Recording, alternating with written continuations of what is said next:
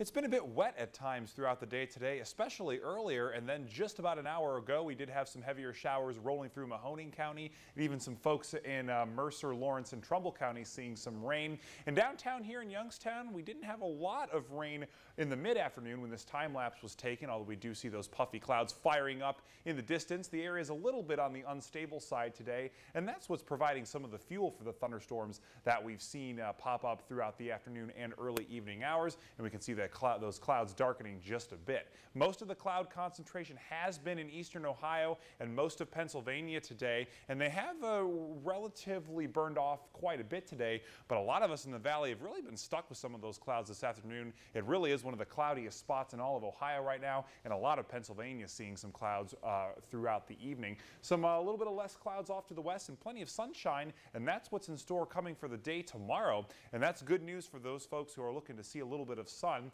Again, some rain right now still falling, a heavier shower across Lawrence County, even Grove City getting a heavy downpour right now, but those are moving on their way out. And just a few sprinkles down in Columbiana County, Guilford Lake, uh, Columbiana, and even just south of Canfield seeing some light showers at the moment. But it was not that much of a warm day at all. 77 degrees. That was right after uh, 320 this afternoon. Average high 81. We spent another day below the average, but we were almost on target with that low this morning, 61 degrees. Record 97 back in the very warm 1930s and 48 back in the year 1976. Still a little bit on the cool side right now, 76 degrees, dew points at 64, so that humidity is definitely noticeable. And across the rest of the valley, not a whole lot of uh, temperature variation, but spots that are still seeing some rain. Boardman at 70, Columbiana also at 70, New Castle 75 degrees, and Lisbon at 75. And everyone's uh, feeling that moisture right now. Dew points in the mid 60s for a lot of spots. Even Warren at 68 degrees. It is very, very humid out there for a lot of folks